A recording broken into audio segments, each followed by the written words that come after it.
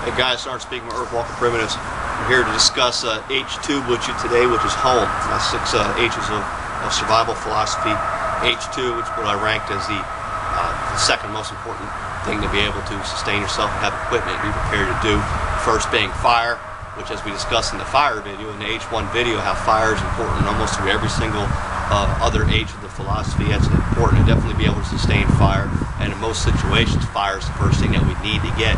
Uh, the second one is uh, uh, home, because shelter is definitely equally important. We need fire to, to, to cook and heat us and keep us warm, but we also need shelter to not just keep us dry and out of rain and out of snow, but also to protect us from things like the sun. And I'm a redhead, so right now I'm getting beat up pretty good.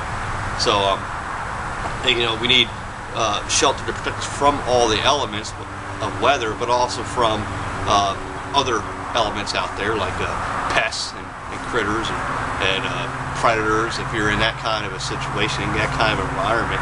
And um, also, and just think about a hostile environment, a shelter. The way we build a shelter can help hide us. Uh, there's ways, and we'll discuss that in future videos, and how to make shelters that really no one's going to ever even notice you're even there. Um, so shelter is very important. Um, it's important to keep us out of the elements because being exposed to the elements is definitely detrimental to our survivability and our and our health and also our comfort. You know, if you you don't want to, you're surviving in the desert. It's kind of hard to sleep when you got the sun beating down on you. You know, and so you want to be able to develop some kind of shade during the heat. You know, in the same part, it's you need shelter to help stay warm in the winter um, and dry. So. Um, you can need shelter is important in any kind of scenario that you're in almost being able to protect yourself from the elements and, and like we said in the H1 video we're going to break our kit down. I have my main big kit. Uh, if you're watching this video first and you haven't seen the H1 video, go back to the H1 because I'm not going to rediscuss uh, why the kit, why I'm building my kit this way and why I'm carrying it. So if you have any questions or if you're, if you're confused as to why I'm, I'm, presenting it this way, go back to that video and it'll explain it. But breaking our kit down from our whole main day kit, then we're going to go to a small scout kit, and then we're going to go to an EDC kit. I'm going to show you how these items can can sustain us um, in that way. So um, then all you got to do is take, if you have your main kit, if you want to slim your kit down for just a day hike, you just go through your same kit without having to make uh, multiple changes or items. Everything that we have has multiple use too. Almost everything that I'm going to show you here is used in the other eight steps without, you know, not just making shelter. That's why I designed this kit. That's why I included the items that I have because I wanted to carry items that can have multiple uses, not just one. Um, there's a very few items in my kit that only have one use. So let's go ahead and start with the main kit. Uh, the first part of my main kit, obviously, is um, is uh, the tarp. I have a tarp and a poncho, all right, and I carry both of them with me, and we'll actually get into that here in a little bit. But I got a main tarp, a big heavy-duty, large tarp for making some kind of overhead cover or shelter, as well as a poncho. The poncho is a little bit smaller, but still does the same trick. Um, I carried both of them, and like I said, we'll explain that for here in a second. Uh, second thing I have, I want to mention is I carry both 550 cord and bungee cords. All right, um, carry both because you might need both. All right. Uh, I carry bungee cords to use for the tarp, and I have 550 cord. I can use 550 cord for the, the tarp, for the poncho, uh, or, and vice versa. Um, we'll explain here why I go over too. I also have what I do though, is I made pre-made guy lines. All right, I made these guy lines pre-made because one thing I don't want to do is just have a roll of 550 cord and then decide I want to make a shelter and then use up all the 550 cord. So I've actually made guy lines for the purpose of having them for my shelters. I have two different types. Well, I'll, I'll describe them in the future, but I have two different types of guy lines that I use. So that way I do have something that's dedicated uh, to, to, to, to the shelter, but I can also use these for other uses, and it is backup 550 cord.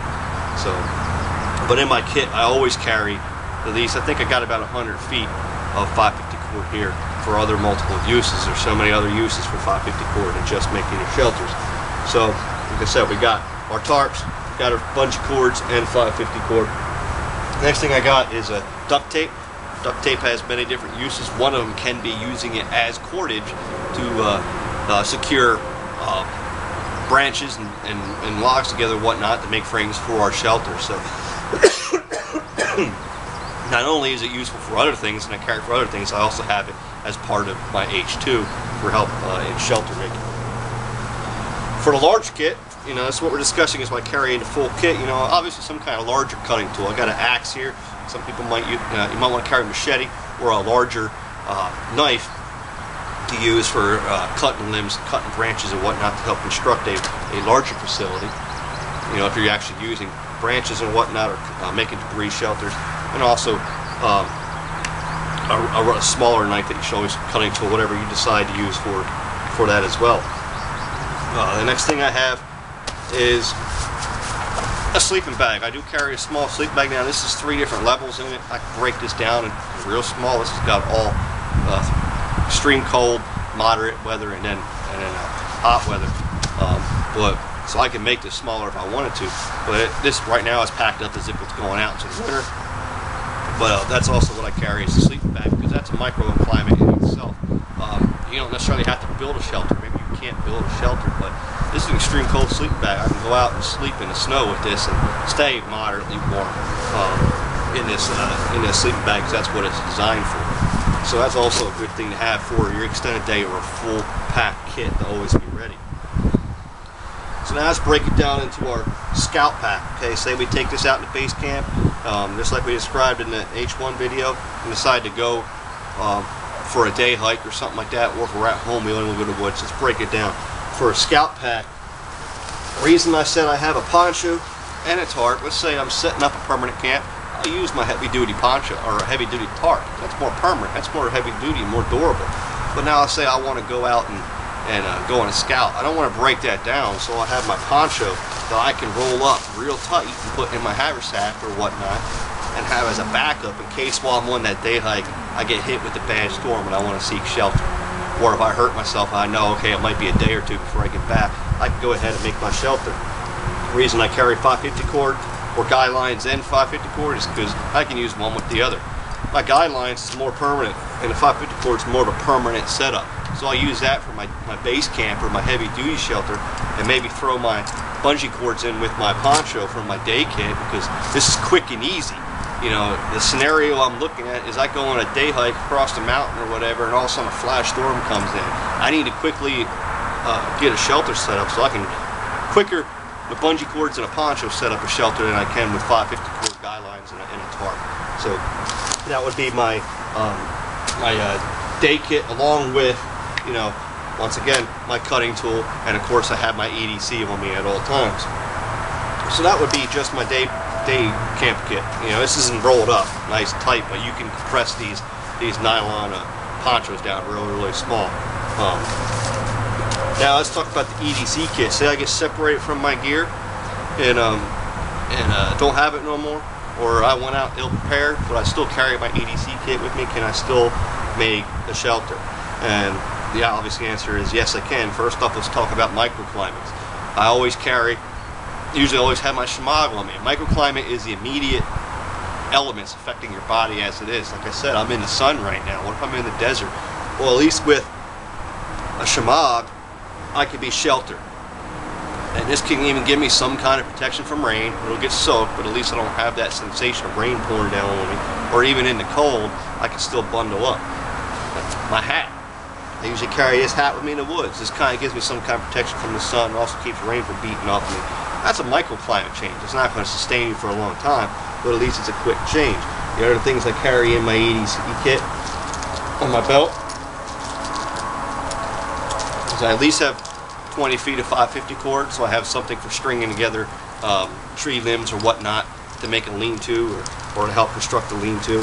And, you know, of course, if I don't have my, my, medium-sized knife on me, just a lighter. I have some kind of small cutting tool on me to help with that as well.